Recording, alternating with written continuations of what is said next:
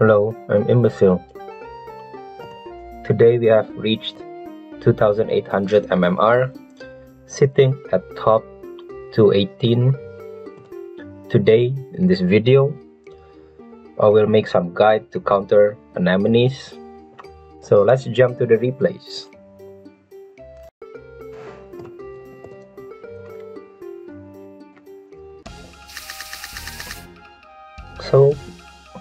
In the last video I mentioned that the aqua should be at the bottom not at the top. Why? Because of this kind of situation. They will of course put the most annoying one at the bottom and we want to kill them straight away. Here I did the attack because the card is just not enough to damage it because um let's see 120 plus 20 plus 1 5 plus 1 5 it's not enough to kill this guy so I pass. So again I don't want to attack when I cannot kill them. Let's see what I do here. So here I underestimate the enemy a bit. Um, I should use uh, this one but let's see.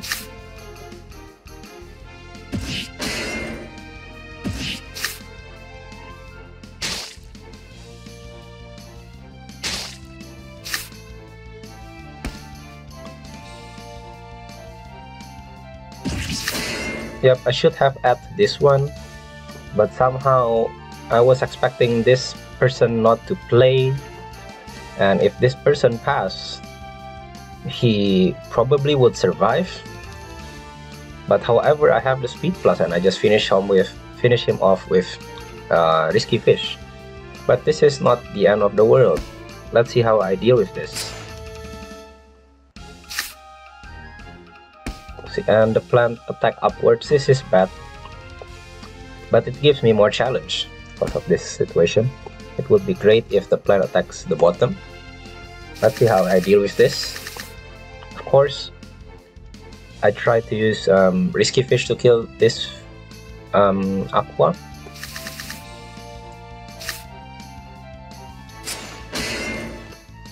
however the damage is not enough so because of that I prepared another card on the mid laner to kill this one. I mean, if this fish enters into a last stand, this mid laner will attack upwards. But this is also okay because the, the anemone just died.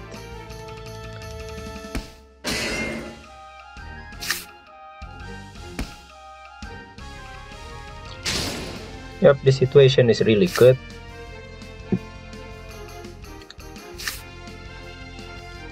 this person doesn't have um, eggshell it's another bonus for me so here um, I actually want to use um, Crimson Water and Shield. But I don't have the cards because in this kind of situation Crimson Water is like the best card ever. It just backdoors. You see target injured enemy if this Axie HP is below 50% and this enemy is also injured.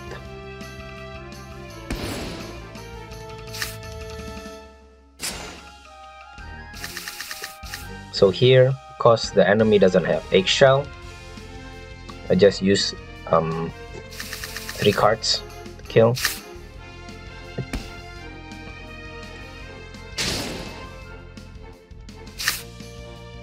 If this enemy have eggshell, probably I would have used two cards because I was expecting um, eggshell here.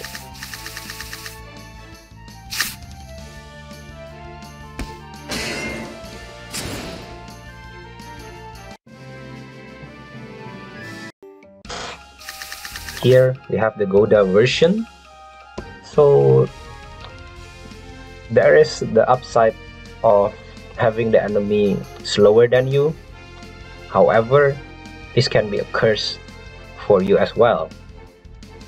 Um, in 1v1 with the backliner, you want them to be faster because um, since you are slower, they will attack you first then you just put a bit of shield and speed plus then you give a bit of damage then that's when you can kill them because you're faster next round. So here I did something interesting. Well usually they pass but I just I just want to try to steal their energy. I just want to make sure that they have two energy because with two energy they pretty much cannot do anything and I, and I can buy time to collect cards to one-shot them. So of course this is rather disappointing. They also destroyed my energy. Even worse. So here we have two energy together. Of course I have to pass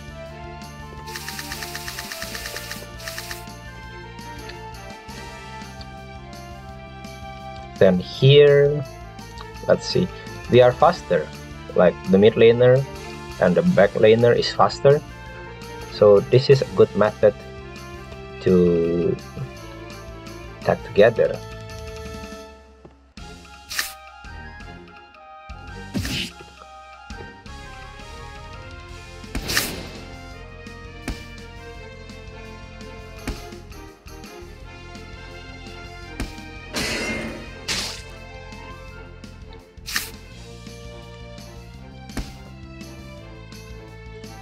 I know it's a bit funny that um, what is it called? I use uh, upstream with a revenge arrow. Doesn't trigger the speed plus but I, I really need to do this. So here is with 3 energy and I have 4 and I pass because I thought this Aqua is going to play something. Um, if I were him maybe I would try to shield but this guy did something interesting by passing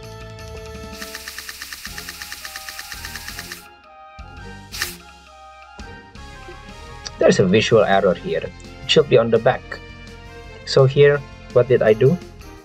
I just want to buy time. Here I just want to buy time.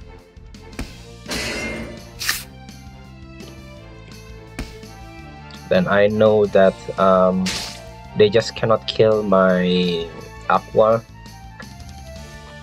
because um, I was expecting like um, maybe one eggshell and four anemones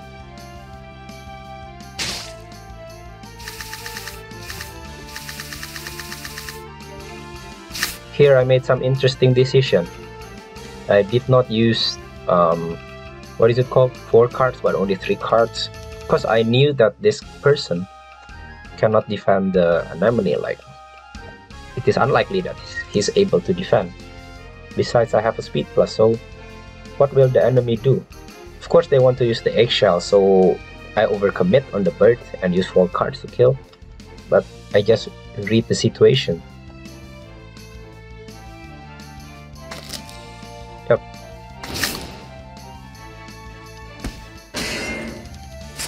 So this bird got baited. I mean, I read him, I read him.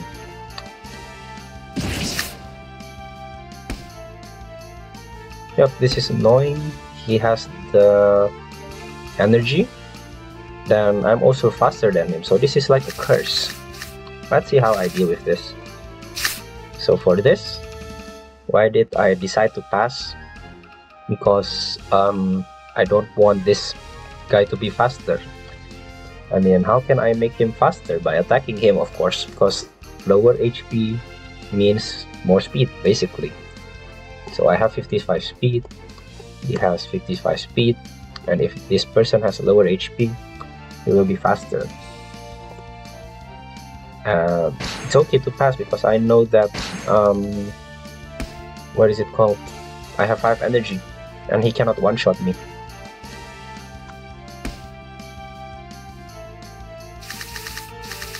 So here he got baited by me. He got baited that um, he play all of his shield cards and next round he doesn't have shield. So he can do that in a very bad situation. Knowing that they cannot kill you in one shot.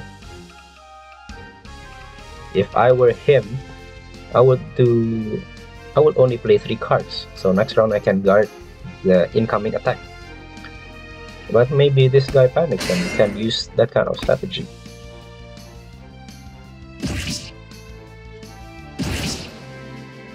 So that's it for today. I hope this video is helpful. Please don't forget to like and subscribe. It will help my channel to grow. See you next time.